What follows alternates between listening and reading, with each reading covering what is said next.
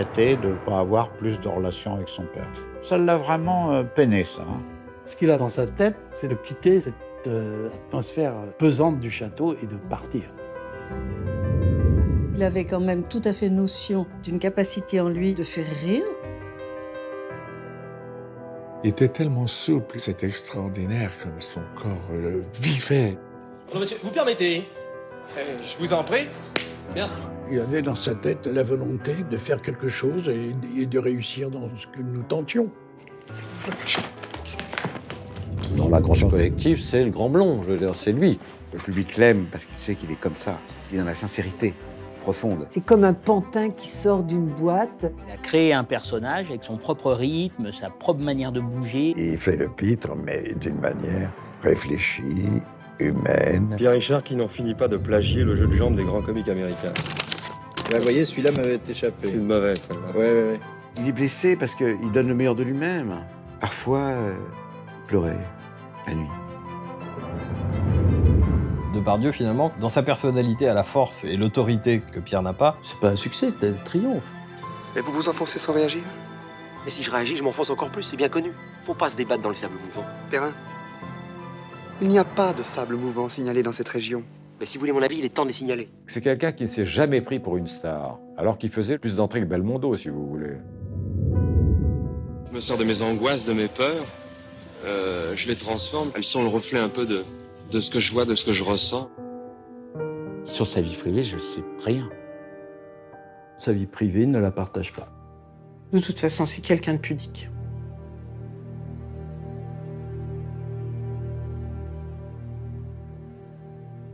Que reste-t-il en lui du grand blond? Rares sont les comédiens qui laissent une telle trace auprès d'une génération. Voici le roman d'une époque, d'une épopée, celle d'un clown maladroit qui s'invitait dans nos salles de cinéma ou sur nos écrans de télévision le dimanche soir. Les héros populaires ont bien des visages, il y a les puissants, les brillants, les charmeurs, et puis il y a les autres, les distraits.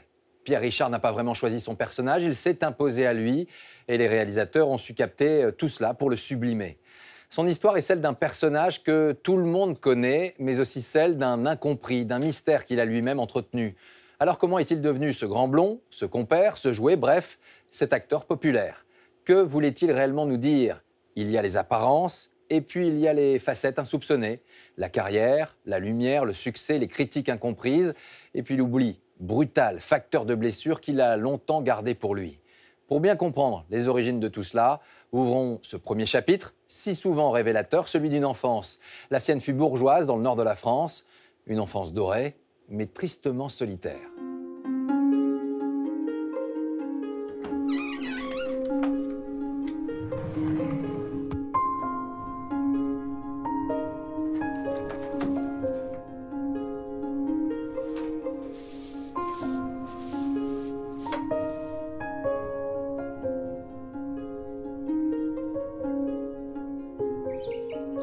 Sommes en 1939, dans une forêt de Valenciennes. Ce jour-là, Pierre Richard, âgé de 5 ans, assiste à une partie de chasse familiale. Il apparaît ici à gauche sur l'image, aux côtés de son cousin Willy.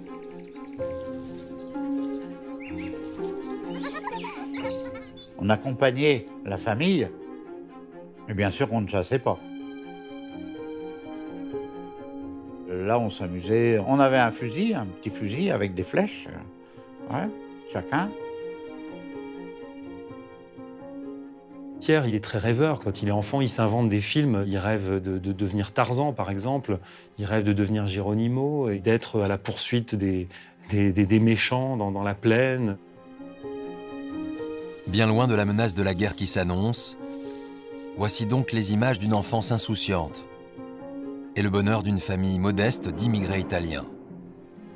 Celle de sa mère Madeleine, avec laquelle Pierre Richard passe les premières années de sa vie. Une présence rassurante qui cache en fait un manque profond.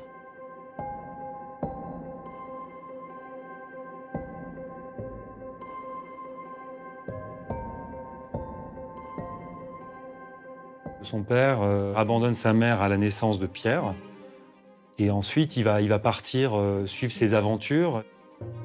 Dans la famille, le secret plane autour de la nouvelle vie de Maurice de Faïs. Ses retours sont rares et imprévu, quelques heures seul avec son fils, avant de repartir pour une longue absence. Du coup, les quelques moments où il va le voir, ça va être forcément euh, un bonheur et il va essayer de chérir ces moments le plus possible. Il devait beaucoup sublimer les moments de relation avec son père. Il a regretté de ne pas avoir plus de relations avec son père. Ça l'a vraiment euh, peiné, ça. hein. Au point que cette absence aura une influence sur la construction de sa personnalité. Pierre Richard était distrait. Et c'est ça qui provoquait peut-être quelquefois un petit accident. Il ne faisait pas attention qu'il y avait un bord de trottoir, il se cognait dedans. Il se mettait de la suture dans les yeux, il avalait ce qu'il fallait pas avaler, il ne savait pas faire les, les, les choses comme les autres. C'est un enfant qui a envie de voir son père lui dire Mais non, mon fils, pas comme ça qu'il faut que tu fasses, regarde, regarde-moi faire. C'était une ma- maladresse comme un appel au secours, une maladresse euh, d'un enfant qui se sentait abandonné. Le garçon se raccroche au désir d'une mère fascinée par les acteurs, et notamment par l'un d'eux, à qui il doit son prénom composé. Elle voulait l'appeler Boris, mais sa famille s'y est opposée. Sa mère euh, avait vu les films de Pierre-Richard Wilm, qui était une star à l'époque. Une sorte de jeune premier de l'époque, euh, très gominé et tout ça, assez blond d'ailleurs. Et euh, sa mère, c'était son acteur préféré. Alors elle a, elle a proposé Pierre Richard. Pour briller dans les yeux de sa mère, Pierre Richard se prête régulièrement à un rite, en costume. Ma grand-mère adorait faire réciter à mon père euh, devant les invités à la fin du repas quelques tirades, quelques vers de mon Rostand de Cyrano.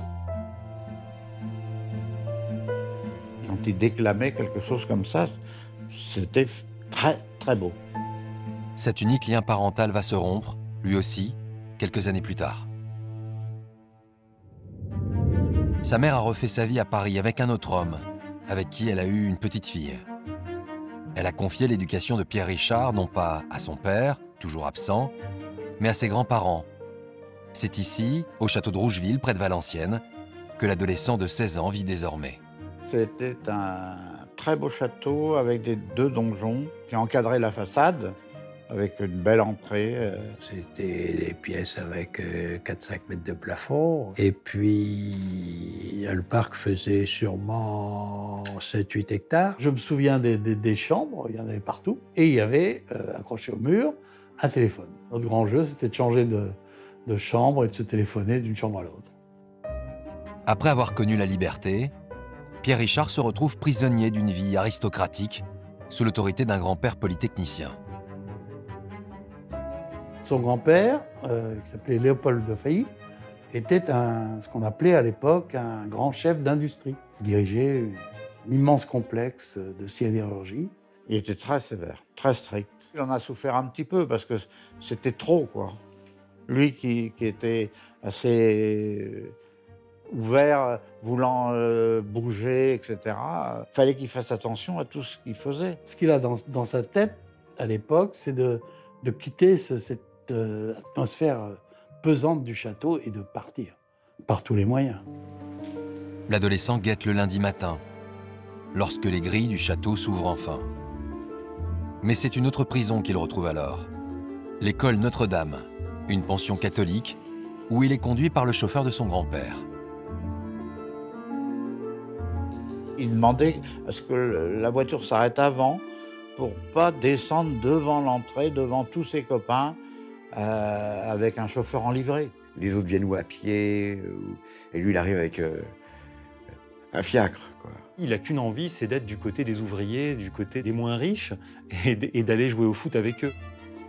Sur cette photo de classe, l'adolescent se distingue par ce pull à col roulé, signe d'une différence affichée qui lui vaut des brimades régulières. Pierre faisait partie, non pas des forts, parce qu'il n'était pas costaud, il faisait partie des plus faibles. Et pour justement euh, compenser cette faiblesse physique, il a trouvé un moyen qui était de faire rire ses camarades. Toujours un peu sage avec des gestes, euh, il gesticulait un petit peu en rigolant, quoi. Il faisait rire tout le monde, ce qui était une défense pour lui. Qui, alors, c'était pour cacher quelque chose aussi, peut-être un mal plus profond. Ce sentiment de ne pas être à sa place à l'école comme dans sa famille, Pierre Richard tente de l'oublier en faisant régulièrement le mur. Ce jour-là, il se rend au cinéma de Valenciennes, où est projeté un film américain qui a pour titre Un fou s'en va en guerre. Il se planque dans la salle pour pas qu'on le reconnaisse parce que la famille de Failly, c'est quand même assez connu. Il se visse une casquette sur la tête. D'un seul coup, il a une révélation, c'est-à-dire le, coup de foudre qui lui tombe sur la tête. Il voit.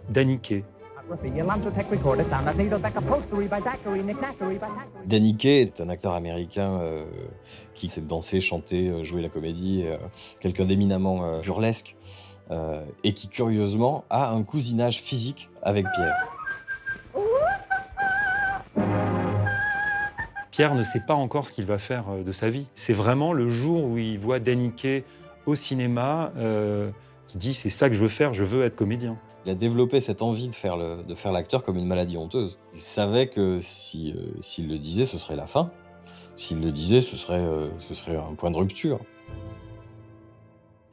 Il va s'armer de courage pour annoncer à sa famille paternelle la voie qu'il vient de choisir. Pierre Richard veut devenir saltimbanque. À la Rougeville, euh, il voulait rien savoir. hein.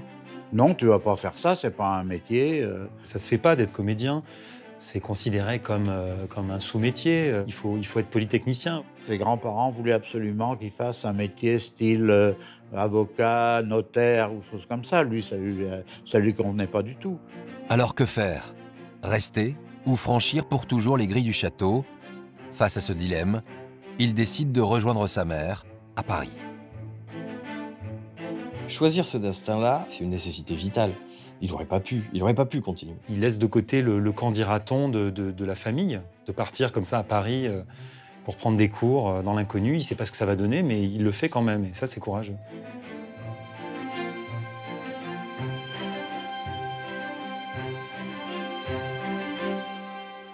Pierre Richard vient de faire un pari audacieux, quitter le confort d'une famille bourgeoise pour assouvir sa passion du spectacle et monter sur les planches. À son arrivée à Paris, il s'inscrit sans tarder dans une école de théâtre. Il a des rêves en tête et de l'ambition. Mais cela est-il vraiment suffisant pour réussir? Il aura bientôt la réponse. Dès son entrée au cours du Lin, Pierre Richard se distingue, une fois de plus.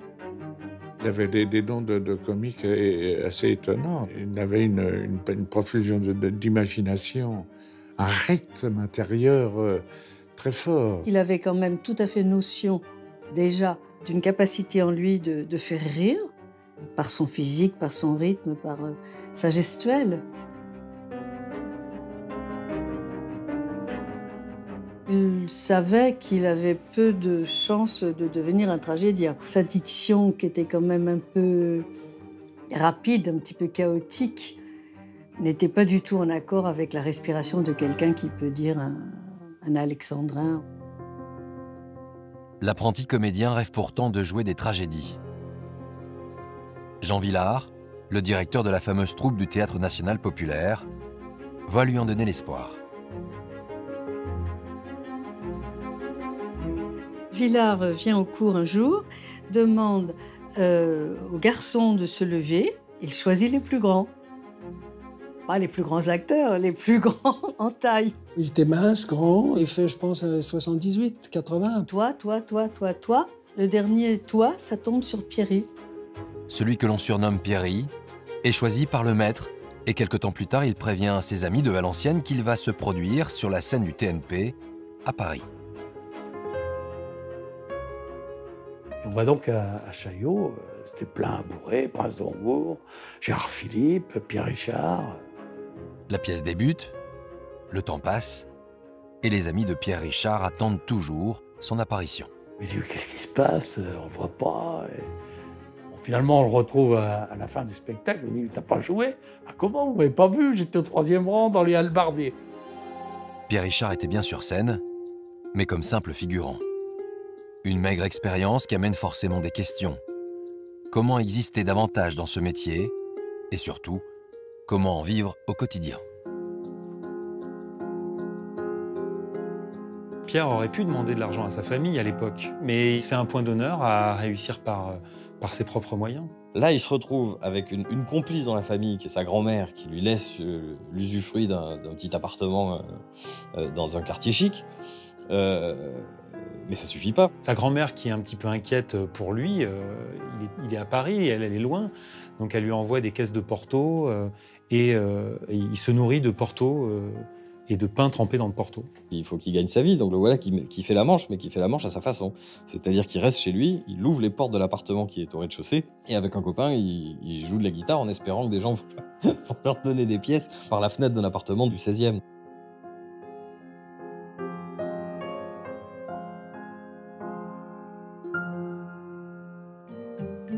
Quatre ans après son arrivée à Paris, Pierre Richard a joué au théâtre, mais il n'a toujours pas percé.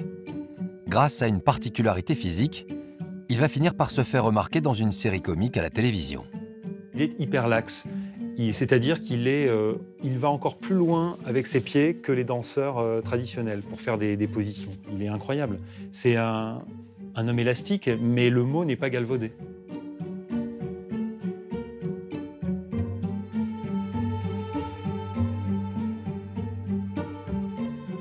Était tellement souple, il levait la jambe. euh, C'est extraordinaire comme il, euh, son corps euh, vivait, vivait, vivait. Puis alors il tombait merveilleusement.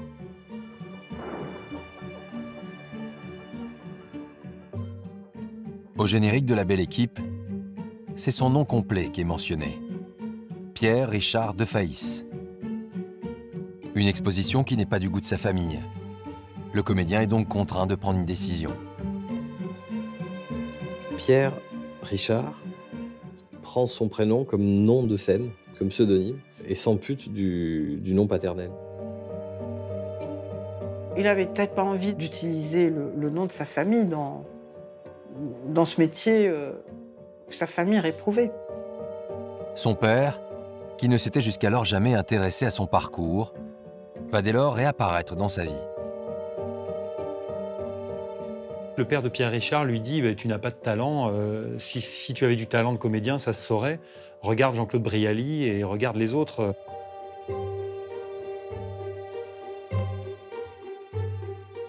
C'est un type après l'affection duquel il court, euh, qui- dont il essaie d'avoir une reconnaissance et, et de se faire entendre ça en retour, c'est épouvantable. Il a dû se dire euh, il, faut pas que je, il faut que je fasse mentir mon père. Et donc il a, il a continué son, sur sa lancée pour prouver à son père qu'il pouvait être lui aussi au niveau de Jean-Claude Brialy et des autres comédiens euh, de cette génération. Parallèlement, Pierre Richard tente de construire sa vie privée. Au cours du lin, il a rencontré une jeune femme de 16 ans. Elle s'appelle Danielle Minazzoli. Elle était danseuse, hein. donc elle était aussi du milieu, euh, d'un milieu artistique. Physiquement, elle est très mignonne, elle est très menue, très fine, très élancée. euh, c'est l'amour euh, total, euh, insouciant, le présent, euh, l'amour immédiat. euh. Un amour consacré par un mariage en février 1960 et un premier enfant à la fin de l'année. Avec cette naissance, Pierre Richard va se rendre compte que ce métier ne suffit pas. Il débute alors des études de kinésithérapie. C'était voilà une poire pour la soif au cas où vraiment ils s'en sortent pas. Quoi. Finalement, avec euh, son air euh, loufoque, il est quand même rationnel. Quoi. Il est pragmatique, il est très pragmatique. Chaque soir, Pierre Richard fait le tour des cabarets de la rive gauche. Avec Victor Lanoux, un jeune comédien de son âge, il a monté un duo comique. Il n'avait pas du tout l'intention de devenir kiné. Pierre voulait être artiste. Il voulait faire de- des choses, il voulait faire l'acteur, il voulait faire du théâtre, du cinéma. Pardon, monsieur, excusez-moi, vous, vous n'auriez pas une allumette, s'il vous plaît? Une allumette Oui, une allumette. Mais certainement. Dans la poche du bas, pardon. Non, dans la poche du haut. non plus, qu'est-ce qui se passe? Je, je suis sûr d'en avoir une. Le tout, c'est de savoir où j'ai bien pu la mettre. Ah ben voilà. Ah ben c'est un cure-dent. C'était un, un duo vraiment classique, c'est-à-dire il y avait l'Auguste et puis le, le- le clown blanc. L'anneau, c'est le costaud brun, et l'autre, c'est le, le dégingandé euh, blond, euh, grand. Euh, Il y en a un qui est solide, euh, qui peut faire le méchant, et l'autre un peu le gentil. Oui, il a le personnage ahuri, quoi. On écrivait chacun de notre côté. Tout était basé sur le système de l'absurde. C'est toujours la même chose. On en met plein ses poches, on s'énerve, on s'en... Moi, je tiens absolument à vous la donner. Qu'est-ce que j'ai bien? Ah ben voilà. Ah ben c'est encore un cure-dent. Ça marche, le, le système marche. Les gens aiment ce que nous faisons. Non, je suis sûr d'avoir une allumette. Le tout, c'est de savoir où je suis. Alors, je vous en prie, je tiens à vous la donner, ça. Mais non, il n'y a pas de raison. je- Non, parce que alors ça, des cure-dents, j'en ai. Je vous dis que ça va très bien. Ah non, non, mais quand, quand j'ai ça dit, va. quand j'ai l'idée dans la poche, je, je, veux dire dans la poche, je la monsieur, vous êtes complètement fou. Enfin, arrêtez, je vous en prie, on nous regarde. On a pris conscience l'un et l'autre de nos possibilités, nos possibilités mentales, artistiques. Et euh, ça, c'était énorme, quoi. Parmi les sketchs, il y en a un qui plaît particulièrement au public, aux grandes dames de Pierre Richard. Il recevait trois gifles dans le sketch. Le problème, c'est que quand on faisait trois ou quatre cabarets dans la soirée, il fallait le multiplier par trois ou quatre. Donc, quand il avait pris une douzaine de gifles, monsieur, vous permettez Eh, Je vous en prie. Merci. À la fin de la soirée, Pierre a, a les joues euh, complètement rouges parce que la, la main de Victor Lanoux sur la, sur, la, sur la figure, ça fait mal. Et il fait pas semblant. Ah, mais il est juste 9 Merci beaucoup. Ouais, j'aurais pas voulu vous faire rater l'heure. Oui, moi, quand j'ai pas l'heure, j'ai j'ai la tête à l'envers. Je... Ça fait, moi, à n'importe quelle heure, j'ai une tête à claque. Ah, bah. il recevait formidablement bien les gifles. Et moi, je les donnais très bien. Je donnais, je pense pas que ça lui ait fait très très mal. Mais il fallait que ça claque quand même un petit peu, donc euh, il fallait qu'elle soit véritable. Alors que chaque soir, le duo est plébiscité et que le succès arrive enfin, en coulisses, les relations se dégradent. Ils avaient des tempéraments très vifs, euh, Pierre et Victor. Et, et, et Victor était très coléreux aussi. hein. Et Pierre était très. très, très taquin. On a eu des rapports euh, qui sont passés, la franche camaraderie à l'amitié profonde, à la détestation, euh, la haine. Euh, on, est resté euh, plusieurs semaines, voire mois, sans s'adresser la parole. C'est-à-dire, on rentrait, on ne disait pas bonjour, pas bonsoir, on faisait nos sketchs, et chacun partait de son côté sans, sans se préoccuper de l'autre. Ce n'est pourtant pas à cause de leur dispute que le duo doit mettre un terme à sa collaboration. J'ai eu la proposition de rentrer au TNP et c'était pas compatible avec le cabaret. Et à un moment donné, il a fallu arrêter, quoi. Il a été déboussolé pendant un moment. Merde, qu'est-ce que je vais faire, etc. Et, et comment je gagne ma vie? Alors, comment gagner sa vie? Cette question se pose avec d'autant plus de force qu'un deuxième enfant est né. À 33 ans, Pierre Richard est à nouveau père. C'est justement à ce moment-là qu'une proposition va lui être faite. Le comédien et réalisateur Yves Robert a repéré son talent. Il a écrit pour lui un petit rôle dans son prochain film. Son titre Alexandre le Bienheureux.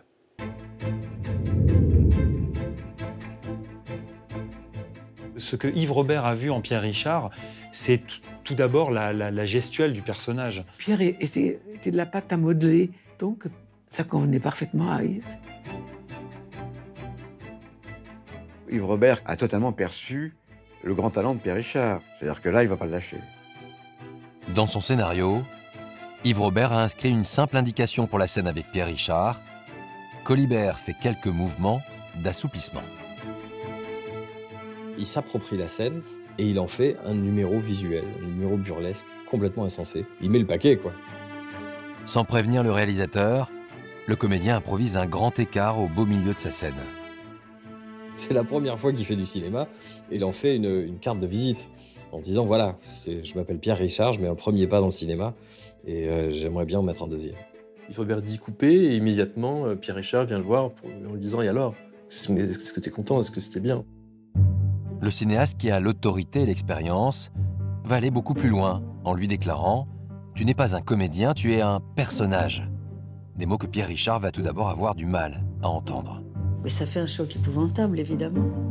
Quand on se dessine à cette carrière et que quelqu'un vous dit ça,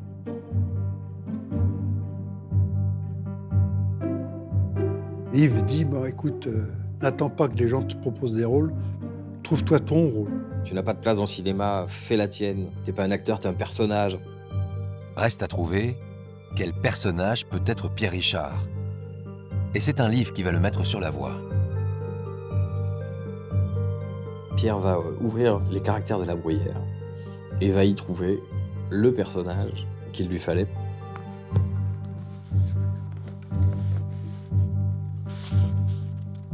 C'est une personne qui, qui, euh, se trompe. Il sort de chez lui, euh, il ferme la porte à double tour, il se retrouve dans la rue et il se rend compte qu'il est en chemise de nuit et pieds nus, par exemple. Il s'est dit, en lisant cela, qu'il s'était trouvé un auteur. Il s'est dit, bah, la bruyère a écrit pour moi. Il me connaît. Car la maladresse de l'enfant qui attirait sur lui tous les regards ne l'a pas quitté et ne le quittera jamais. Il était présent et absent. Il était ailleurs. euh, Il était dans, son, dans un autre. hein. Vous allez au restaurant avec lui, vous êtes sûr qu'il va oublier ses clés, qu'il va oublier euh, c'est un chapeau, euh, qu'il il va pour aller aux toilettes, il se trompe de porte. Ça n'est pas un jeu, il est, il est entre il est dans les nuages. Réellement, il se prend les pieds dans le câble, réellement, il se coince les doigts dans une tasse. C'est permanent. Euh, tu lui donnes rendez-vous à un endroit, il t'appelle, il dit bah, T'es où? Il dit bah, Ouais, mais t'es dans une autre ville, Pierre, donc euh, il y a un problème. En refermant le livre de la bruyère, Pierre Richard a l'idée d'écrire un film dont le personnage principal serait nourri de sa propre maladresse. Il se met très vite au travail. Il retourne voir Yves Robert et lui dit Tu te rappelles ce que tu m'as dit?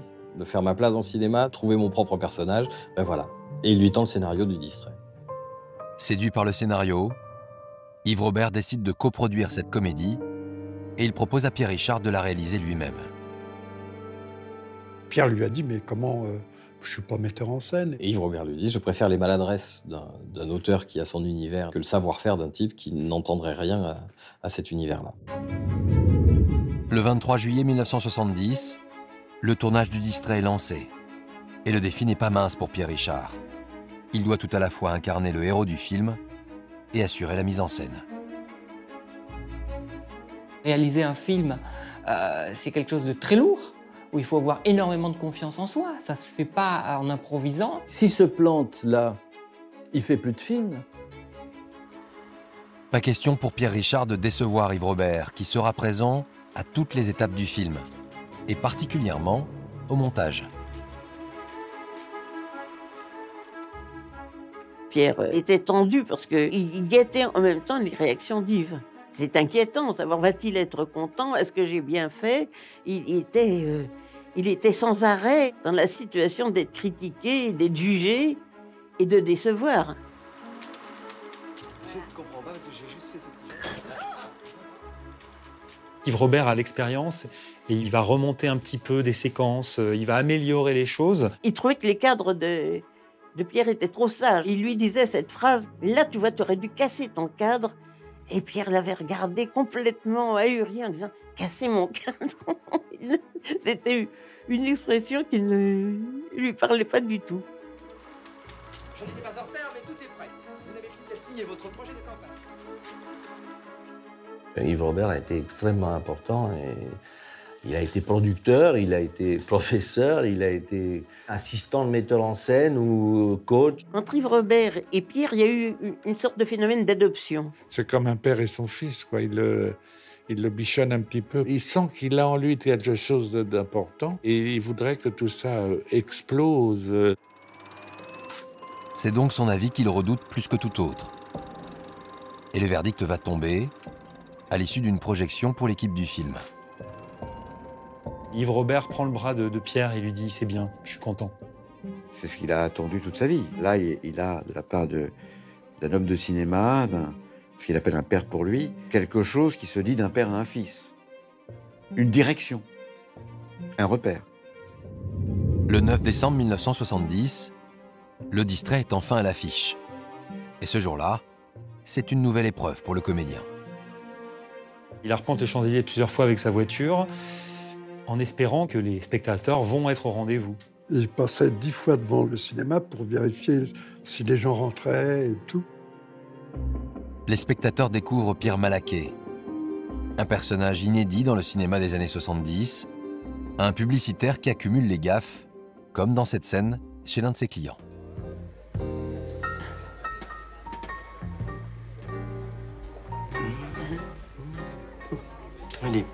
Il est délicieux ce petit. euh.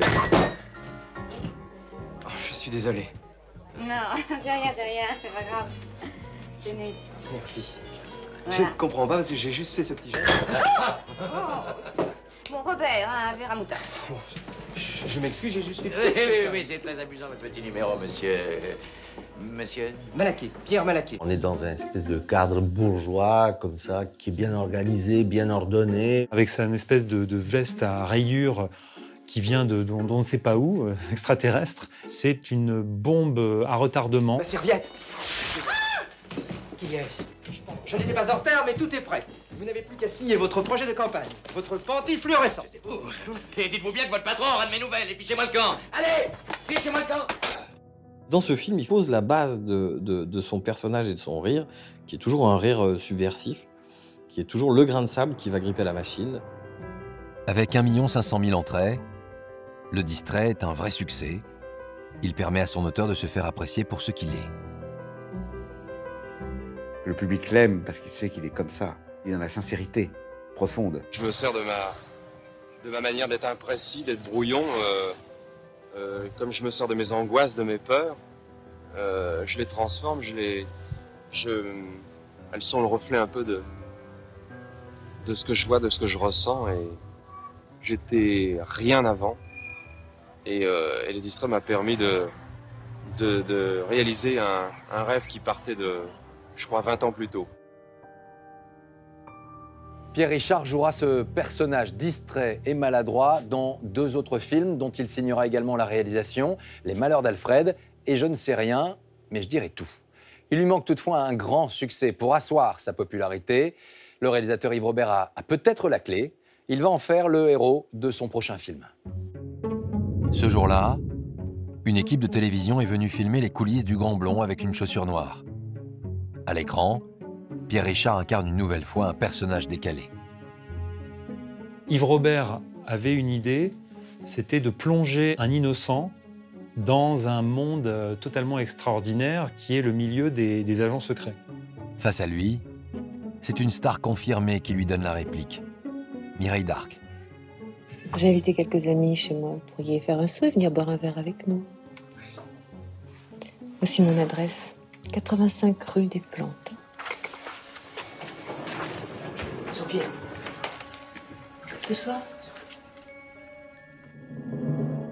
La comédienne sent que son partenaire est déstabilisé par son habitude des plateaux de tournage. Elle va tenter de lui redonner confiance. J'ai été très, très heureuse de tourner avec lui. Je le trouvais formidable comme acteur. C'est possible que je, de l'avoir un peu bousculé. Quand des journalistes viennent, viennent sur le tournage, il a encore des réflexes de garçon poli et, et il se lève pour aller à leur rencontre. Mireille d'Arc lui disait Non, non, c'est c'est pas à toi de te lever, c'est aux journalistes de venir vers toi parce que tu es Pierre Richard. Tu es une star.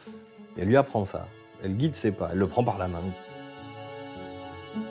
Plus confiant, le comédien apprend à s'imposer face aux journalistes et à jouer avec son style.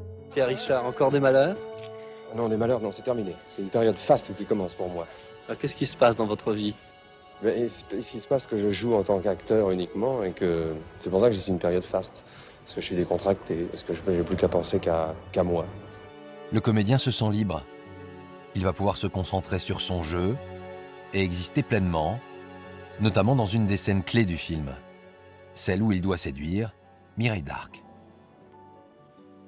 Ça vous ennuie si je retiens mes bijoux J'ai une journée crevante. Je voudrais me mettre à mon aise. Je vous en prie.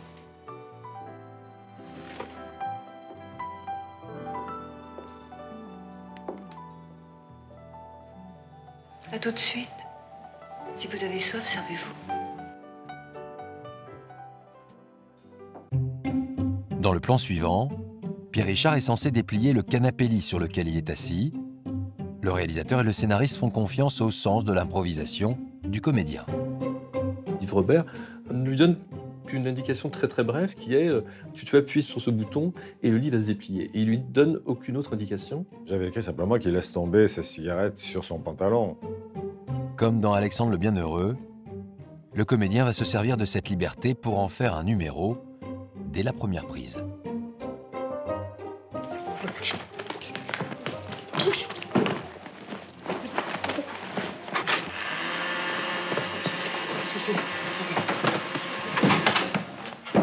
L'épitrerie qu'il arrive à faire avec cette cigarette qui lui tombe sur la braguette, c'est hallucinant. C'est comme un pantin qui sort d'une boîte.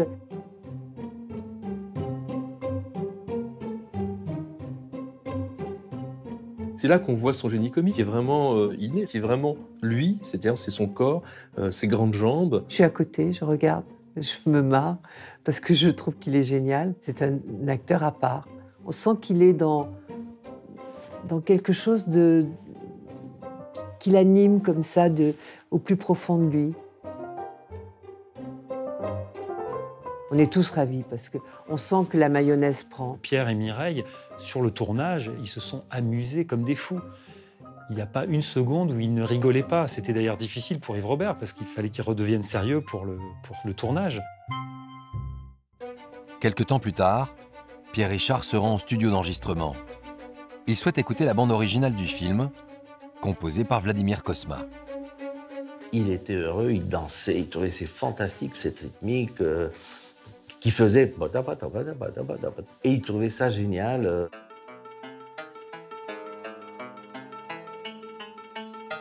J'ai dit mais attends, ça c'est qu'un accompagnement. En fait, sur ça, je, dois mettre le thème qui va être une flûte de pan. Elle viendra demain. Il dit ah c'est dommage. C'était bien comme ça.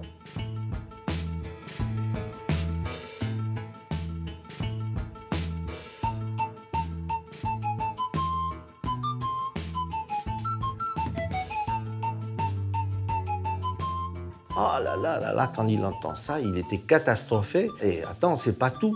Parce que demain, j'ai un grand orchestre avec des cordes, avec, euh, avec des violons. Et finalement, il est parti. Le lendemain, il n'est même pas venu. En fait, Pierre Richard est angoissé. Il pense que ce film sera un échec. La projection organisée pour la presse à laquelle il assiste ne va pas le rassurer. C'est une catastrophe. C'est glacial. L'accueil est terrifiant. Les gens ne rient pas, les- il ne se passe rien. Pierre est tétanisé. Il est complètement effondré, il n'y a eu aucune réaction et euh, les journalistes passent totalement à côté. Alors Pierre Richard va prendre une décision plutôt radicale. Il s'en va. Il se barre. Il ne veut pas voir ça. Il s'attend à une catastrophe. Il part en Guadeloupe, loin de tout, ce- de tout ça. C'est du désespoir. Il dit bah finalement je- j'ai raté. Ce succès des premiers films, pour lui, ça doit s'arrêter à un moment ou à un autre. Bon, ben voilà, c'est maintenant, c'est fini, euh, et je m'en vais. Sa façon de se, se protéger, c'est une, une certaine fuite, oui, une fuite. Une fuite qui ne l'empêchera pas d'être rattrapé par la réalité le jour de la sortie du Grand Blond avec une chaussure noire. C'est Yves Robert par téléphone qui l'appelle et qui lui dit euh, faut que tu reviennes, c'est incroyable ce qui se passe. Contrairement à ce qu'imaginait Pierre Richard, Le Grand Blond avec une chaussure noire est un énorme succès. C'est un excellent divertissement que ce grand blond avec une chaussure noire. C'est très drôle, avec cet humour très particulier à Yves Robert. Le scénario est fort bien fait, il rebondit sans cesse. C'est devenu une star. Il s'est imposé comme le grand comique français euh, nouveau, d'un style nouveau. Comme Chaplin, comme euh, Buster Keaton, comme euh, euh, Bourville, comme De Funès. Bah, il est le grand blond, voilà. On lui donne un, un titre. Il est le grand blond avec une chaussure noire. Il est nommé, son personnage. Le succès gagne toute l'Europe et même l'Union soviétique. Une projection est même organisée à New York où le comédien va faire une rencontre plutôt étonnante. Les spectateurs sont enthousiastes, Pierre sort de la projection ravi. Et là, il y a une dame qui vient et qui le- lui tape sur l'épaule et lui dit euh, J'ai vraiment adoré votre film, j'étais très ému et d'autant plus que vous m'avez vraiment fait penser à mon père. La femme qui s'éloigne est en fait la propre fille de Danny Kaye, le comédien américain qui a tout simplement donné envie à Pierre Richard de faire ce métier. Pierre n'en revient pas, il est complètement bouleversé de savoir que la propre fille de Daniké l'a adoré alors que c'est grâce à son père s'il est là aujourd'hui dans cette salle. Une rencontre qui replonge la star 17 ans plus tôt, à Valenciennes, quand adolescent il découvrait son idole au cinéma. Ce retour du passé lui donne envie de retourner là où tout a commencé. Pour célébrer sa réussite, il invite toute sa famille paternelle dans le meilleur restaurant de la ville. C'est une manière pour lui de dire Vous voyez, J'avais raison de, de m'accrocher, j'ai réussi. Et à la fois, c'est généreux, parce que c'est pas du tout dans un esprit de revanchard, un esprit euh, euh, de, de- de fête familiale. Il a dû être fier de pouvoir le faire et il a dû être euh, content de pouvoir leur faire plaisir. Mais mon Dieu, que... quel soulagement On a beaucoup douté de lui. Un soulagement de courte durée, car les seuls mots que lui adresse son père ne concernent pas sa réussite, mais sa propre situation financière.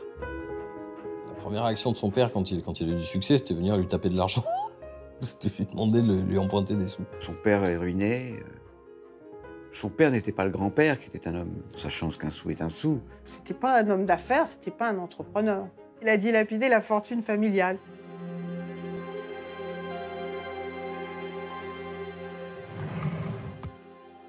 Pierre Richard finira par prêter de l'argent à son père sans plus rien attendre de lui.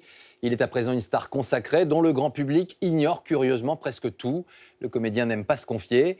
Il n'y a pratiquement aucun reportage dans la presse ou à la télévision sur lui.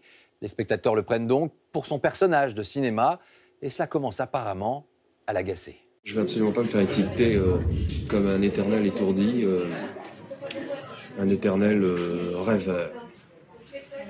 Euh, J'ai l'intention de d'aller beaucoup plus loin et de pas toujours rêvasser, ni dans ma vie, ni dans mes, ni dans mes films.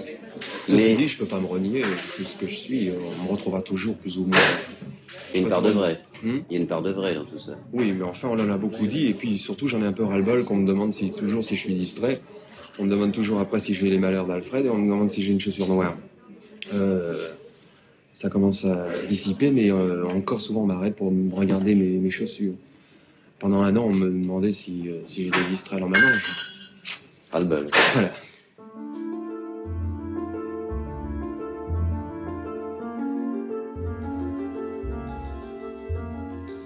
Il a souffert de son personnage, d'être le- ce qu'il était. On se dit, tiens, il va marcher, il va tomber.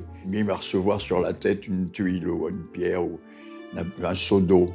Quand on faisait du ski ensemble, euh, on arrivait, en, euh, on descendait la piste et ils étaient- tous les gens étaient en, en, en bas euh, à attendre le téléski et ils voyaient Pierre Richard de loin. Ouais, là le grand blond, ouais.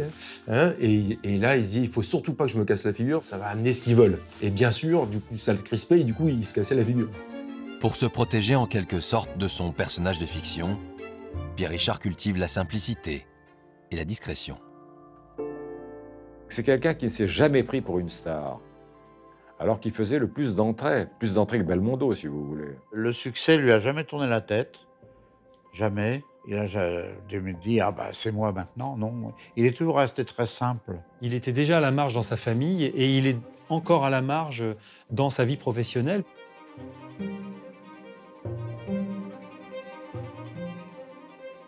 Il déteste tout ce qui est euh, mondanité. Il va au restaurant, la plupart des comédiens vont se mettre face à la salle pour qu'on les regarde, pour qu'on les voit, etc. Non, Pierre, lui, se met de dos. Il prenait le métro. J'ai dit, écoute, si les gens te voient dans le métro, ils vont pas payer pour te voir dans une salle. Il fallait le lui apprendre. Il était d'une simplicité alors étonnante. Le comédien refuse de se soumettre aux règles du système. Et lorsque les demandes d'interview se font plus personnelles, il adopte toujours la même attitude. Il se cache? Il aime pas. Il me demande de refuser. Autant sa vie professionnelle, il peut la partager, puisque c'est son métier.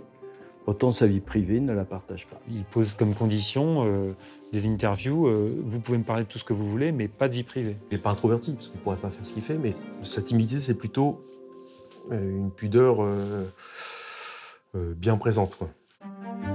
Mais que cache cette pudeur bien présente?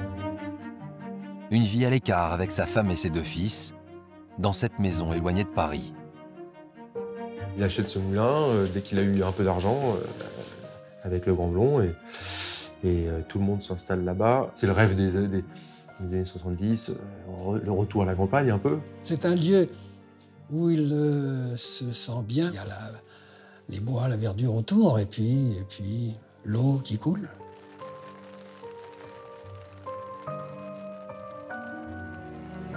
C'est certainement un lieu propice à la réflexion, à la méditation, parce qu'il y a un grand parc, euh, euh, c'est calme. Dans cette maison, Pierre Richard espère réaliser son ambition, devenir un père modèle. mais il a du mal à passer du temps avec ses fils. Il partait deux mois, il revenait, il repartait. La présence, euh, effectivement, n'était pas évidente. Mon père était très, très souvent absent pour, pour moi, notamment toutes les vacances, il tournait tous les étés. euh. Ça devient très très dur de voir sa famille grandir, quoi. Je crois pas que Pierre était vraiment père, quoi. Pas très père, quoi. Tout simplement parce que, parce que sa tête n'était pas là. Sa tête n'était pas à ça, quoi.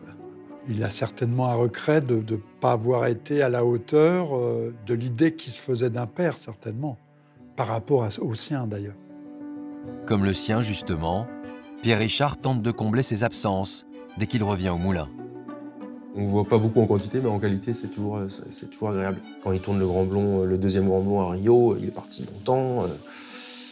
euh, il est revenu avec plein de disques et d'instruments de musique brésiliens. Là, c'était la mode des fêtes brésiliennes à la maison. On, on tapait sur des percus.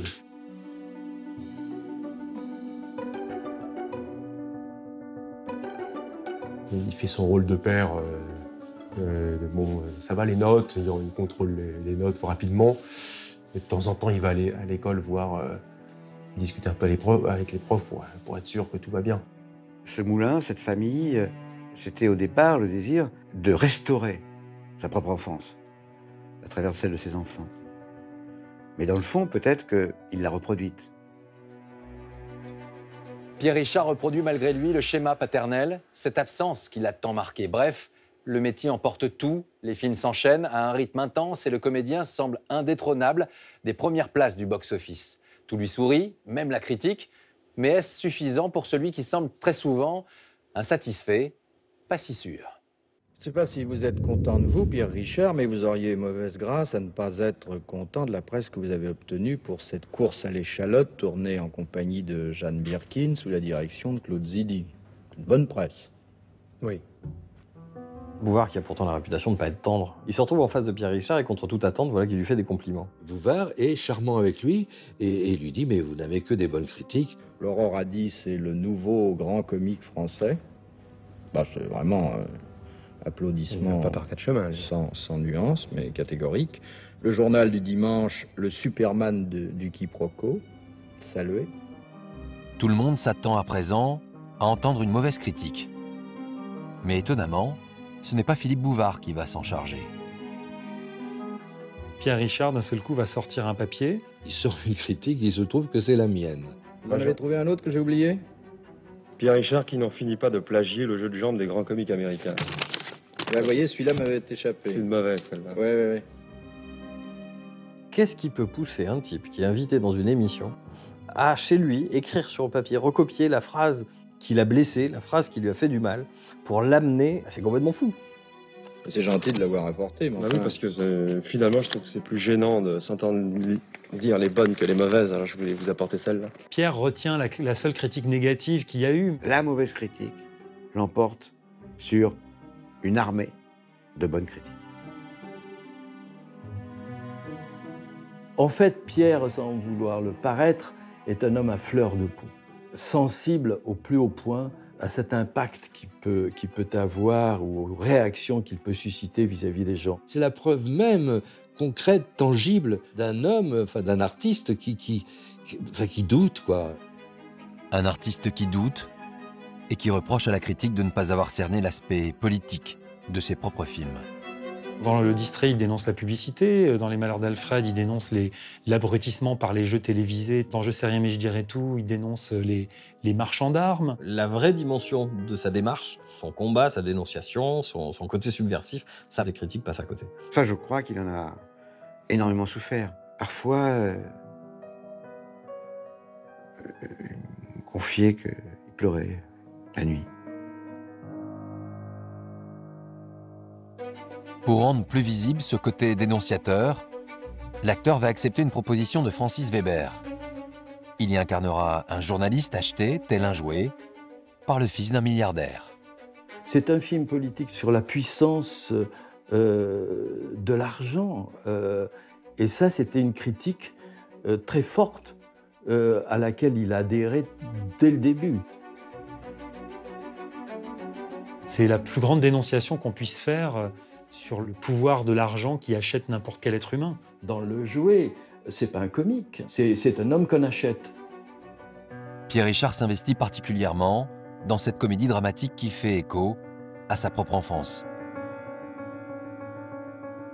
Il se reconnaît complètement dans l'histoire de ce petit garçon en manque d'affection et euh, auquel finalement euh, son, son père substitue les caresses par des, euh, par des, des jouets euh, et une montagne de, de cadeaux. En fait, on avait, lui et moi, bizarrement, le même ratage par rapport à nos pères. On s'est retrouvés là-dessus, mais c'était pas préalable. C'est-à-dire, il m'a pas dit au départ, le, le scénario m'intéresse parce qu'il y a ça. Allez, vas-y, oui. Merde, j'ai cliqué sur la, la barre de direction. Ouais, avance plus, Pour ce film, le comédien a encouragé Francis Weber à passer à la réalisation, mais sur le plateau, il va être déstabilisé par sa méthode de travail. Weber contrôle tout, est maniaque. C'est un metteur en scène, comment on peut dire, un pointilleux. C'est un silex. À la différence d'Yves Robert, qui le laissait improviser, Pierre Richard doit désormais se soumettre à l'horlogerie de Francis Weber. Au début du film, il est livré dans une caisse chez l'enfant qui l'a acheté. Il a comme consigne de, de ne rien faire. Alors il prend sa position de jouet. Je lui ai indiqué la main qui se pose sur le bord, puis l'autre main, parce qu'il est timide, il a peur. Et enfin, la tête qui apparaît.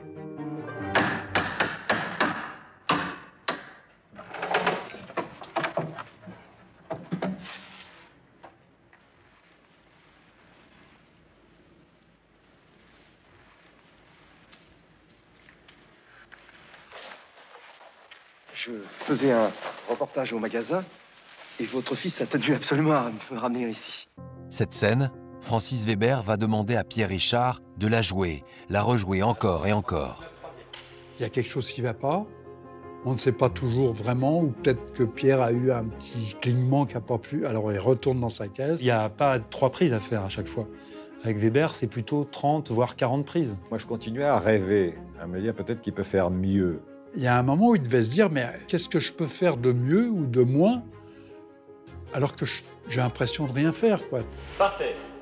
Le même mouvement, la même prise sont répétés jusqu'à ce que les cinéastes soient enfin satisfaits. J'aime la façon de sauter de la caisse, la façon de retirer cette espèce de paille euh, plastique qu'il a dans les cheveux, etc. J'aime tout, là. Va finir ton repas.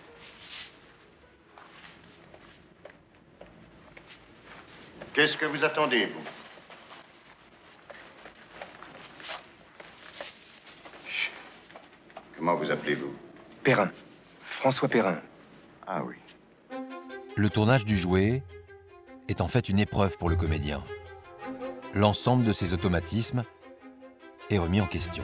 Il parlait à toute vitesse avec des. euh, des- euh, il, faisait semblant de, de chercher ses mots. Je voulais pas de ça, moi. Je voulais qu'il dise mes répliques nettement. Pierre, je lui dis, ne cours pas en levant les genoux. C'est pas la peine. Il lui a appris à être beaucoup plus euh, modéré dans, son, dans sa fougue euh, comique. Il me fait pas rire et c'est justement ça qui est bien. Il ne pense pas à me faire rire. Un type qui joue comique dans une comédie, c'est un pléonasme. Donc on a essayé ensemble de jouer sérieux dans des situations comiques. Il n'a pas à savoir qu'il est comique. Il l'est par la situation et il l'est par sa personne. Petit à petit, Pierre Richard comprend que sous la direction de Francis Weber, il est en train de sortir de l'image formatée de son personnage. J'ai essayé d'en faire un comédien parce qu'il avait l'étoffe de ça. Il s'est plié totalement à, à- à ce que lui demandait Francis. Il progresse sur, son, sur ses capacités de comédien. Donc ça, ça le, évidemment, ça le rend fou de joie. La critique et le public percevront-ils la subtilité de son jeu et la dimension politique de ce rôle d'un homme que l'on achète? Il y avait plein de films qui étaient programmés pour Noël, qui se déprogrammaient par crainte de se faire écraser par le jouet. On le considérait comme le film de fin d'année, comme le film de Noël qui va tout casser. Les producteurs espèrent un énorme succès familial. Le film sort le 8 décembre 1976. Le public ne suit pas. Ils attendent Pierre dans la comédie pure. Il fait 1 million 250 000 entrées, mais Vu le statut de Pierre à l'époque et son statut de star, c'est vrai que les producteurs attendaient beaucoup plus. Un type a écrit moins drôle qu'un Molinaro ou un Lautner, un comble. Le même a écrit rien de plus triste qu'un jouet qui ne fait pas rire. Pour Pierre Richard, c'est un rendez-vous manqué avec le public et la peur de rester définitivement cantonné au rôle du grand blond. Le tournage du jouet l'avait replongé dans son enfance. Sept mois après sa sortie, son père disparaît. J'étais à l'enterrement et je me souviens de ce moment, euh, à la sortie de l'église, où j'ai été euh, lui serrer la main, l'embrasser.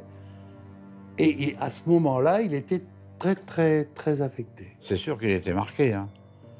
Bah, parce qu'il perdait son père quand même. Même si son père s'était pas occupé de lui. Ça, ça- les- les- c'est dans, c'est dans le sang, ça. Ce que tout le monde ignore, c'est ce qu'il s'est passé la nuit précédant l'enterrement. Le comédien en fera le récit dans un livre, quelques années plus tard. À sa mort, je suis resté seul avec lui, toute une nuit en tête à tête avec son cercueil, et je l'ai insulté sans répit. Oui, je l'ai insulté en pleurant. Il en veut à son père de s'être pas connu, quoi, de s'être de s'être jamais croisé, rencontré ou parlé. Il regrette son, son absence, de l'avoir laissé, sans avoir le temps de, de- de- de le connaître, cet abandon, quoi. On insulte bien que les gens qu'on aime profondément. C'était sans doute une forme de rage aussi d'avoir euh, raté cet amour, euh, de ne pas l'avoir eu ou de ne pas avoir été aimé euh, tel qu'il aurait désiré. Pierre Richard aura attendu toute sa vie des signes de reconnaissance de son père. En vain, à cette déception s'en mêle une autre. Son film peut-être le plus personnel, le plus proche de la réalité de son enfance, Le Jouet, n'est pas réellement un succès. Les rapports avec son réalisateur ont été euh, tendus. Alors quatre ans plus tard, lorsque Francis Weber s'apprête à, à créer un duo comique pour son nouveau long métrage, ce n'est pas à Pierre Richard qu'il pense spontanément, mais à Lino Ventura et à Jacques Villeray. Ventura m'a dit Je veux pas de Villeray. Je dis pourquoi? Il dit C'est un acteur lent. Et finalement, ne sachant pas qui prendre, j'ai appelé Pierre Richard qui était en Tunisie en vacances. Et je dis Pierre, tu veux faire un nouveau film avec moi? Il m'a dit tout de suite. Le problème, c'est que ce deuxième choix ne plaît toujours pas à Lino Ventura, qui préfère abandonner le projet. Pierre, il le voit comme quelqu'un qui est ingérable, un peu comme Louis de Funès. Et à ce moment-là, donc, on se retrouve avec Pierre euh, en disant mais qui, quel acteur pourrait jouer euh, ça? Et on a eu la même idée, c'est de dire mais si on rajeunissait le personnage et qu'on le propose à Depardieu. Cette fois, c'est le réalisateur Francis Weber qui se montre dubitatif sur cette nouvelle option. Depardieu est surtout connu pour avoir euh, tourné avec Truffaut, Duras. mais Depardieu n'a jamais fait de comédie. Il a fait Sept morts sur ordonnance, il a fait des films comme ça. De son côté, Pierre Richard insiste pour que Gérard Depardieu ait le rôle. Depardieu, finalement, dans sa personnalité, a la force et l'autorité que, que- que Pierre n'a pas. Et dans sa carrière, il a une carte de reconnaissance que, que Pierre n'a pas non plus. C'était recevoir la reconnaissance et l'adoubement d'un acteur qui était euh, l'enfant chéri de la presse, des médias. Pour en savoir plus, le producteur convoque les deux comédiens dans son bureau. Ils se sont assis euh, dans les deux fauteuils qui me faisaient face. Et là, de quoi ont-ils parlé? De leur enfance, des enfants inadaptés dont ils s'occupaient? Je ne le savais pas. Je l'ai appris à ce moment-là, des deux côtés. Ah ouais, et ça m'assied. Même les plus proches de Pierre Richard ne connaissent rien de ce secret désormais partagé avec Gérard Depardieu. Je connais pas tout ce qu'il a fait. Je suis pas forcément au courant de tout. Euh, il me raconte pas tout, mais il a fait des choses comme ça. Sans s'en vanter, en tout cas. Il est tellement secret, de toute façon, que, euh, bien sûr, il est capable. hein. Il a du cœur, quoi. Tout de suite, il y a eu cette euh, union incroyable entre deux et cette complicité ouais, inouïe, quoi. Cependant, il reste toujours un homme à convaincre que le duo peut fonctionner à l'écran, c'est Francis Weber. Un déjeuner est organisé. Quand euh, Pierre Richard mange, non seulement il se salit lui-même, mais il salit le type qui est en face. Parce qu'il commence à parler, il envoie des petits pois, du ketchup, des miettes d'œufs durs sur Depardieu, qui regarde son costume comme ça. Il regarde ensuite euh, Pierre en disant Mais qu'est-ce que c'est que ce Gugus? Et je me suis dit Ça y est, l'alchimie est bonne, c'est ça le couple. Le couple est validé par tous. Le tournage de La Chèvre peut enfin commencer. Et l'amitié née dans le bureau du producteur va bel et bien se confirmer sur le plateau.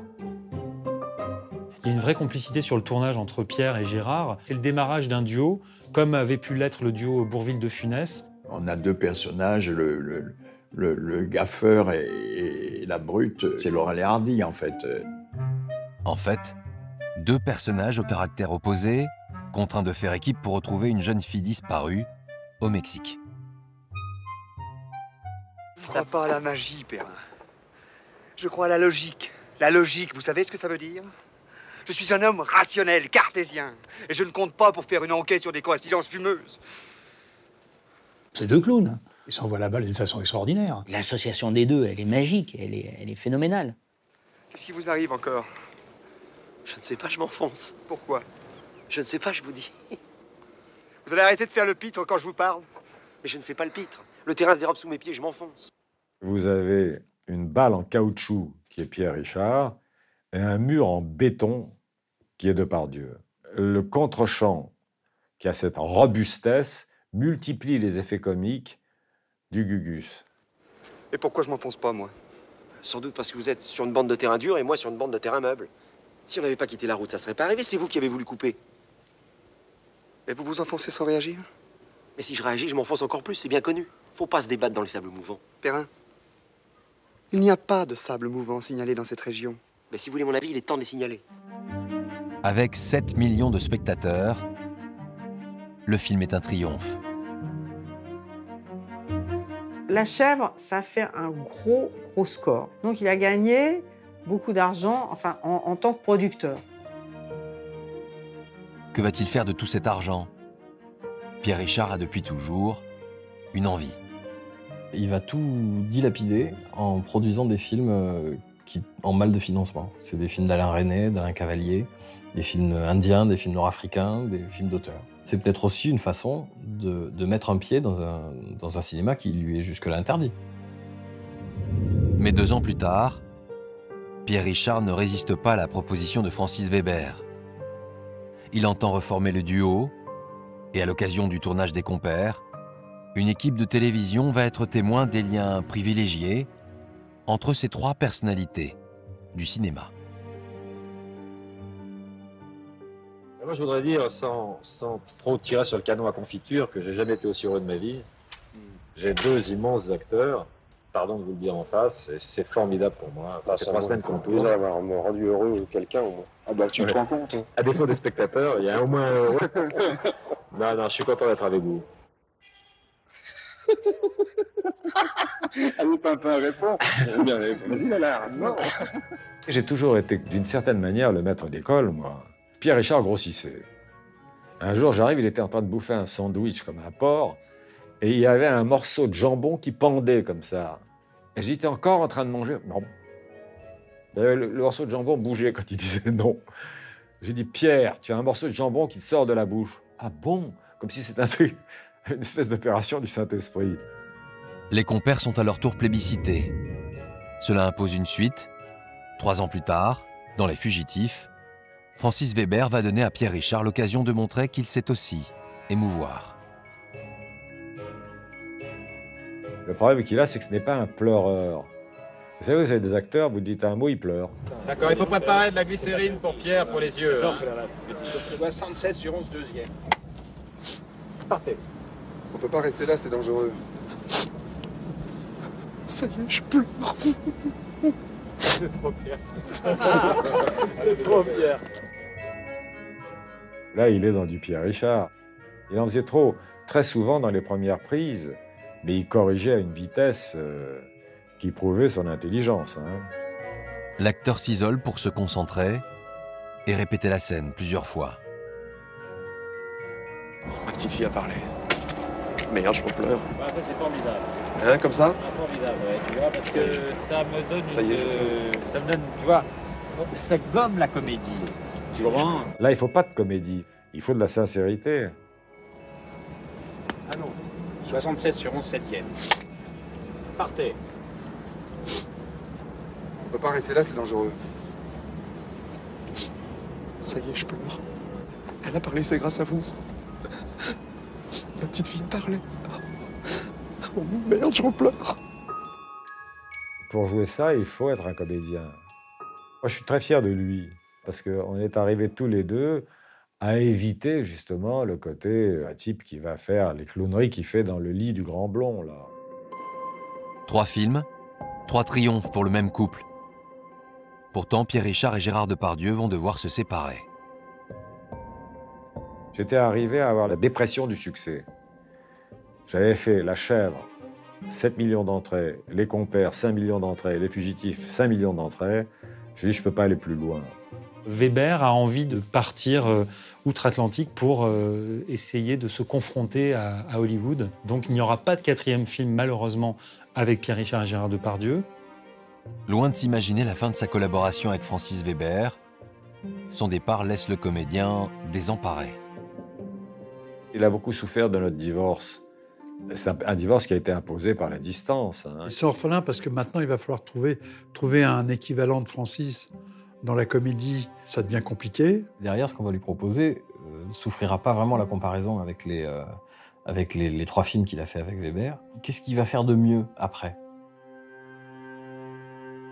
Désormais, les scénarios que reçoit Pierre Richard ne sont pas à la hauteur de ce qu'il a connu. Pour la première fois depuis 17 ans, l'acteur a enfin du temps devant lui. Du temps pour faire le point, rassembler ses souvenirs d'enfance et les raconter à ses deux fils dans une longue lettre.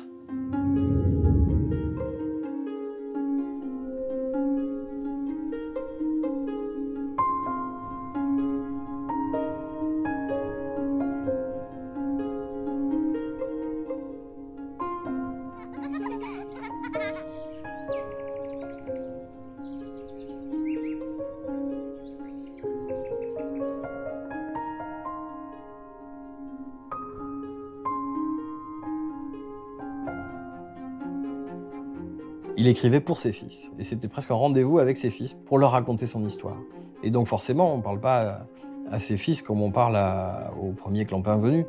Donc voilà qu'il y met de l'intimité, voilà qu'il y dit des choses, et voilà qu'il y parle de son père. Il était mon oiseau migrateur, et j'attendais son passage. Sur cette barque immobile, pourtant, j'avais le mal de père. Le fait que son père ait pu lui manquer, voilà, il, s'est libéré. Il a éprouvé le besoin de, de, de se vider de petits secrets qu'il avait comme ça. euh. Il va mettre sur le papier tout ce qu'il a essayé de dire en creux pendant toutes ces années-là. Ces années-là, ce sont celles passées sous les projecteurs. Des années marquées par un regret profond. Il y a dû avoir quelques années, des débuts 70, une sorte de maelstrom où il était emporté euh, film sur film. Et puis au bout de quelques années, au bout de dix ans, euh, on se retourne, on s'aperçoit que les enfants ont grandi. Dans son idée à lui, en tout cas, il n'a pas été assez présent euh, pendant une période pour ses enfants. Voilà.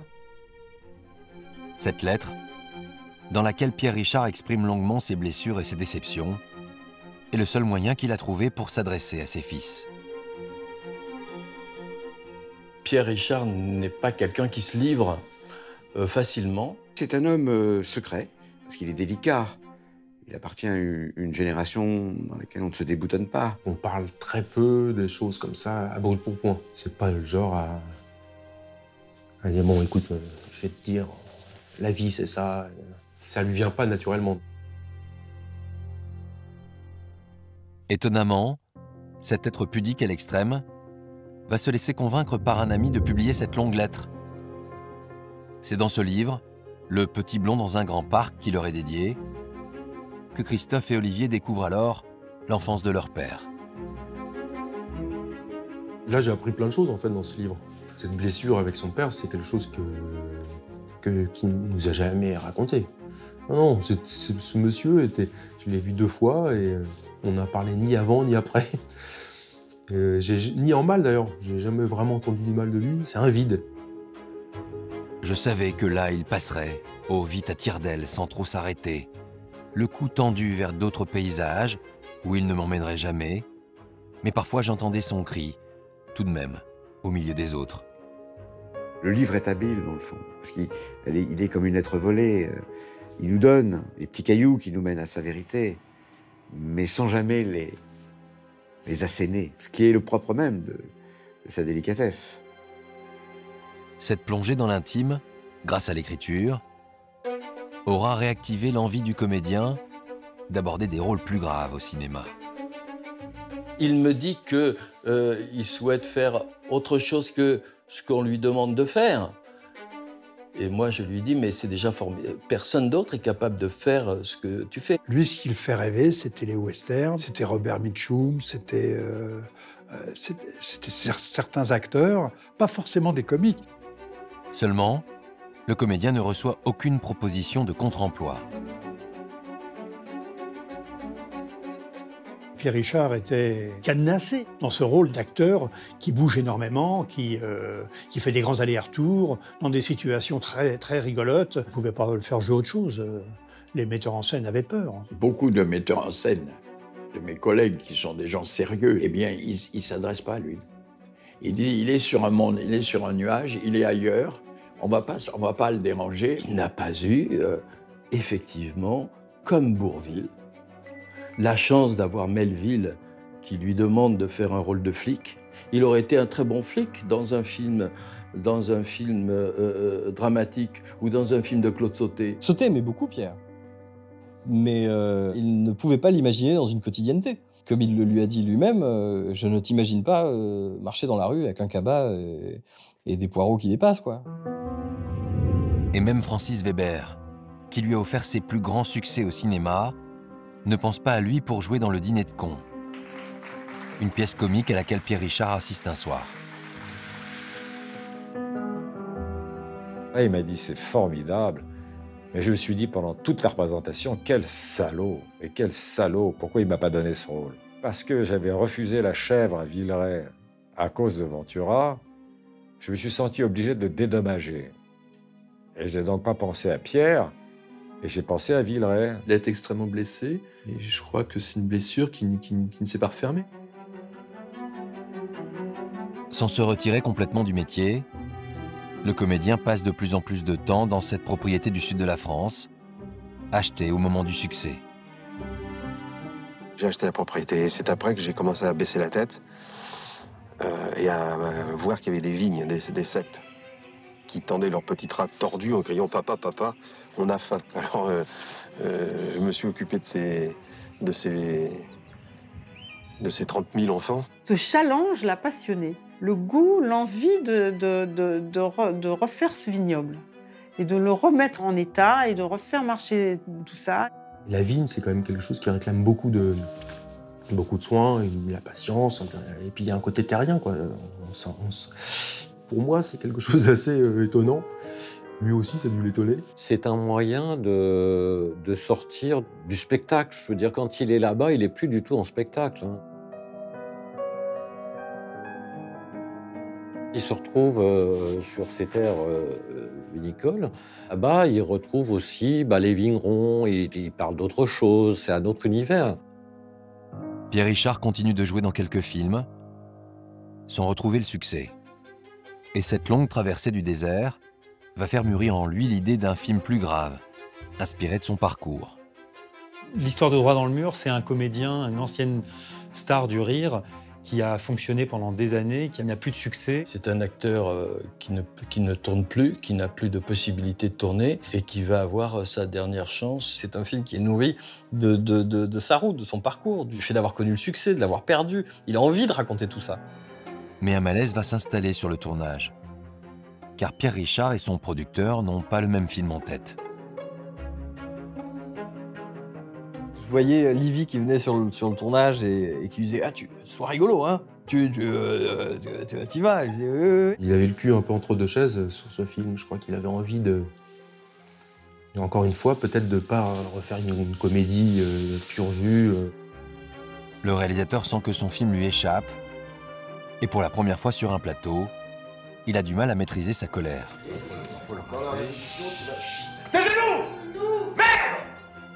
Il a failli annuler même euh, les, les tournages à une, une- une semaine avant euh, leur début. Enfin, il, il le sentait plus du tout. Ce qui est fou, c'est que dans l'équipe même, je, je me rappelle que des gens me disaient Mais on est en train de faire quoi là?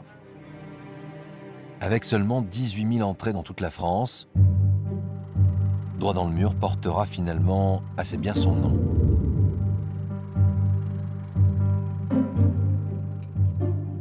Le film est raté, clairement. On comprend pas ce qui se passe, quoi. Même le, le public ne comprend pas ce qui se passe. Échec historique, il lui coûte très très cher. C'est-à-dire que c'est l'impossibilité derrière de pouvoir refaire un film. Ça aurait dû être son, son chant du cygne ou, ou du moins son film de la maturité. Mais ça ne l'a pas été. Mais là, c'est terrible parce qu'il. ben, les portes du cinéma se ferment. Après Droit dans le mur, l'acteur renonce définitivement à la mise en scène. Alors que faire à présent? En 2003, à 70 ans, il revient au théâtre, là où il a débuté. Dans Détournement de mémoire, il égrène ses souvenirs de tournage avec ses copains Blier, Carmé et Depardieu. Un spectacle seul en scène, plébiscité par le public et même salué par une certaine critique qu'il avait jusque-là méprisée. Deux ans plus tard, ce sont cette fois les professionnels du cinéma qui souhaitent, vous allez le voir, lui adresser un message. Ce 26 février 2006, il est un peu plus de 22 heures quand arrive le moment de décerner un César d'honneur à Pierre Richard. Moi, j'avais le trac. euh, pour le coup, euh, j'aime beaucoup cet homme-là, vraiment, c'est un ami. C'est sûr qu'il lui a fallu se battre contre son humilité pour accepter ce César dont la profession l'honore. Mesdames, Messieurs, Pierre Richard.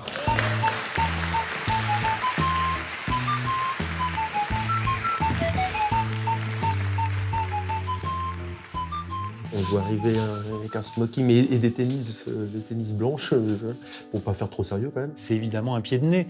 Et ça prouve toute sa liberté et tout ce qu'il veut faire passer comme message. Je suis un, un électron libre et, et- et je le serai toujours. Ce soir-là, la salle se lève alors pour saluer celui qui fut une des plus grandes stars du cinéma français, 20 ans plus tôt. La standing ovation, c'est pas une standing ovation fabriquée. hein. Les gens sont heureux parce qu'elle dure très longtemps. hein. Et une vraie, une vraie chaleur, euh, pour le coup. euh. C'est euh, vraiment, un, un- je pense, un merci de la part de tout le monde.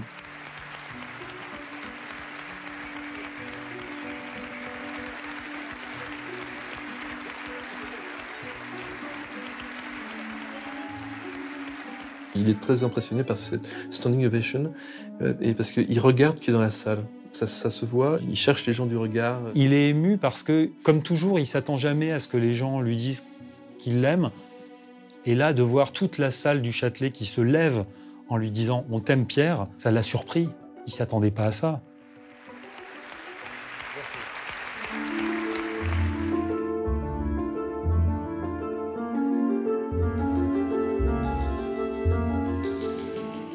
Pourquoi moi? D'ailleurs, je vois au silence de la salle que vous dites aussi pourquoi lui. Je vois bien ça. Pourquoi lui Oui, moi qui toujours, me suis toujours complu au fond de la classe, près du radiateur, avec les cancres de mon espèce. Et voilà tout à coup qu'on me demande de paraître devant mes pères, moi qui n'ai jamais été qu'un impair.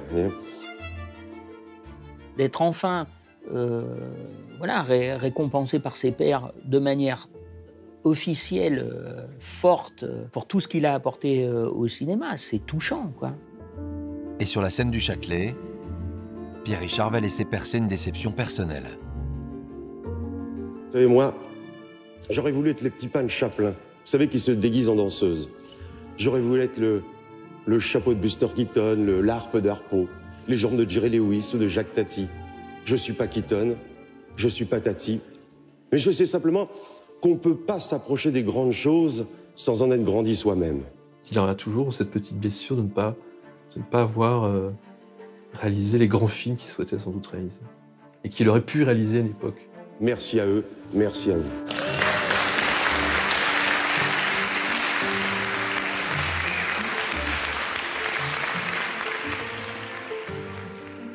Il aurait mérité d'avoir un César d'interprétation bien avant. Ah, il était temps qu'on lui en, lui en file un quand même. C'est pas parce que tu es un comique que tu n'honores pas le métier de comédien. C'était bien de lui donner un César d'honneur. Mais c'est dommage qu'il n'ait pas eu un, un César sur un film, quoi. Quand la reconnaissance arrive, il n'en a plus besoin. Et que finalement, ce César d'honneur, ça lui a fait plaisir. hein. Mais euh, ça n'avait absolument pas le, le goût que ça aurait pu avoir si la reconnaissance était arrivée quand il la cherchait. Les années passent, l'époque a changé, et Pierre Richard n'en réussit pas à se départir de l'image d'un personnage à présent dépassé. Jusqu'au jour où il reçoit une proposition de Jean-Pierre Mocky pour jouer dans un court-métrage dans lequel il va retrouver le partenaire de ses plus grands succès, Gérard Depardieu. Il fallait des complices. Notre jeunesse a été bercée par, euh, par la chèvre, les compères, les fugitifs. Et là, tout d'un coup, euh, on s'est dit, s'il accepte le rôle, ça serait remarquable. Bah, il est content, mais il est étonné en quelque sorte qu'on ne le lui ait pas demandé avant, qu'on ait attendu 28 ans pour refaire ce couple. 28 années durant lesquelles Pierre Richard regardait son ancien complice asseoir son statut de vedette populaire. Sans lui. Pierre était très triste quand tout à coup il a fait des duos avec d'autres euh, de par Dieu.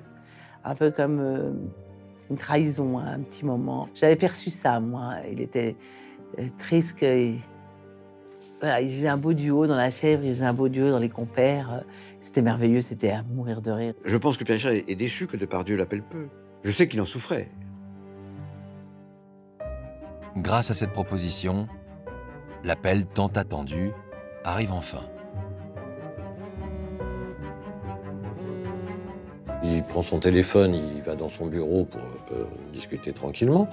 Et il revient et il me dit Tu te rends compte, c'est Depardieu qui vient de m'appeler. Gérard m'a appelé. Bah, je lui dis Oui, mais euh, toi, t'es Pierre Richard, tu peux aussi appeler euh, Gérard Depardieu. Ah, bah ouais, mais j'ose pas. C'est en Anjou, dans le château prêté par Gérard Depardieu pour le tournage, qu'ont lieu des retrouvailles que Pierre Richard appréhende quelque peu.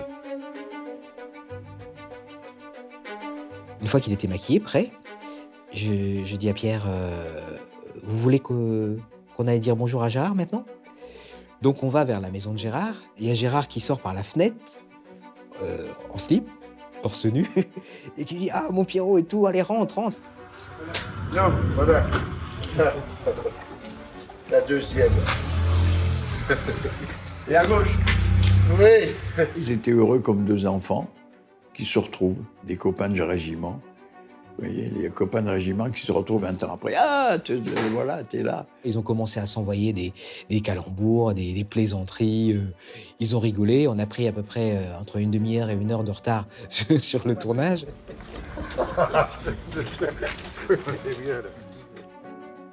Il y avait une voiture qui attendait Pierre pour l'emmener. Bon, et Pierre, euh, tu vas pas, tu vas pas aller avec la voiture. Moi, je t'emmène en quad, comme ça, tu vas prendre l'air et tout. Avant, avant ton tournage, ça va bien te réveiller. Oh.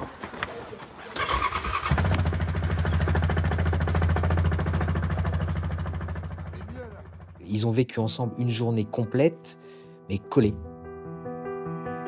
Comme si le temps n'était pas passé, les deux acteurs retrouvent intacte cette complicité qui les avait unis dans les années 80.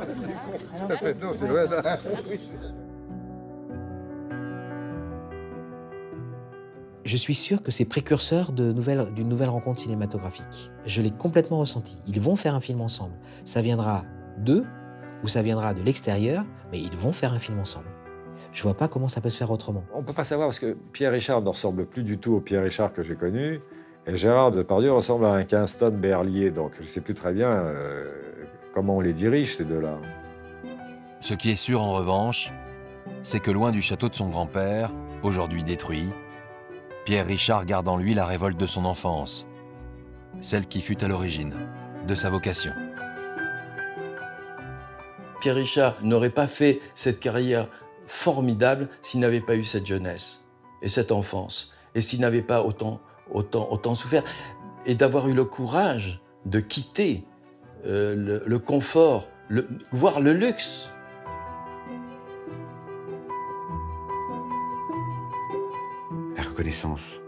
C'est une photo qui s'est développée avec le temps. Il fait partie, vraiment, euh, des acteurs repères qui jalonnent l'histoire du cinéma français. Il manque dans sa carrière un, un rôle avec un cinéaste majeur qui sortirait encore ce qu'il a sorti, parce qu'il en a plein encore euh, qui garde au fond de lui-même.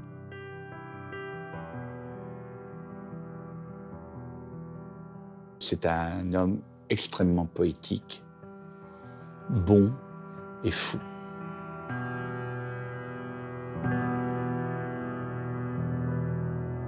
Voilà pour l'histoire de celui qui ne fut pas que le grand blond et à qui il reste encore quelques pages de cinéma à écrire. Des pages dans lesquelles il se livrera peut-être enfin, comme toujours, avec pudeur, car depuis toutes ces années, c'est derrière le masque du rire et de la dérision qu'il a choisi de se cacher. Merci à vous pour votre fidélité et à très bientôt.